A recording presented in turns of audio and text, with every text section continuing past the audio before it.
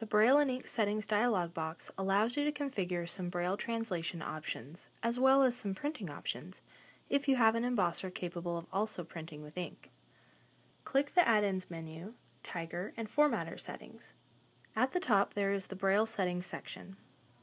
Some Braille languages have indicators for italics, bold, underlined text, and hyphens. You may choose whether to use these indicators using the four checkboxes in the Braille settings section. Next, there is the ink setting section. Here you will find a checkbox labeled Overprint Original Texts. Enabling this option simply tells the printer to place dots on all the braille dots. Enabling this disables interline. The next checkbox is labeled Interline Original Text. This will print the untranslated text from the original document along with the embossed braille. There are three drop-down menus associated with this checkbox. They are Ink Font Name, which lets you choose which font your text will be printed in. Ink Font Size, which lets you choose the size of the letters that will be printed.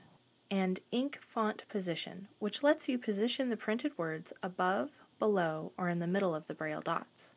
Some of the ink and braille printers have a VoiceEye option which can be enabled here. This causes the text in the page to be encoded in a 2D barcode and printed on the page. This barcode can be read by the free VoiceEye app on a mobile device. When the barcode is decoded, the text may be read aloud using the mobile device's text-to-speech capability, or for people who have some limited eyesight, the text may be enlarged to the point where it's easier to read. Associated with the VoiceEye checkbox are two radio buttons, where you may select either All Pages or Odd Pages. If you choose Odd Pages, the text of the even pages is still encoded.